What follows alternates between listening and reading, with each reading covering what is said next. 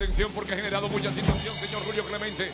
Por ejemplo, la respuesta de Jaime David ante el, ante el discurso de ayer. Escuchemos esto. La gente, el presidente habla de eso, pero la gente quiere queso, queso, queso. Sigue hablando de falta del peso, el peso para comprar el queso, queso. La gente quiere queso, queso. Mire, señor presidente, y no hable de eso. En Santiago no estamos para eso. La gente quiere queso, queso, queso.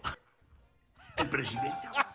Bueno, esa es parte de la, de la, de la respuesta de Jaime, lo que Jaime dio y su visión acerca de lo que fue el discurso del presidente de la República ayer en Santiago, que debo decir que fue un gran desafío, Andy.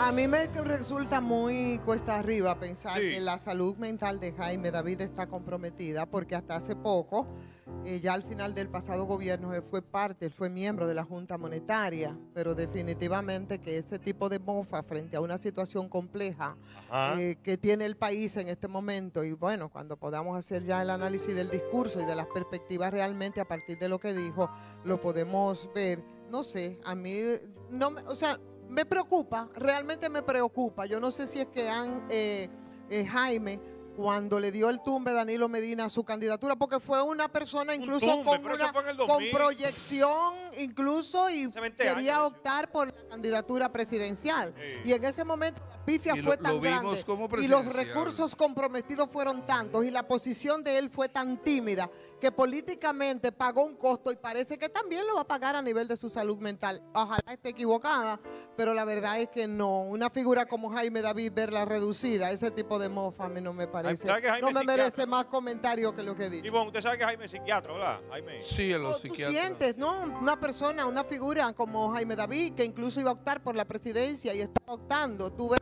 reducido a esto, tú dices, y en medio de una situación también seria en la que está el país, no, no, es Tío, penoso. tío, antes de que usted siga, déjeme ir con este compromiso. Hagamos una transición, Ale, y vámonos con Leisa, única loca. La fábrica.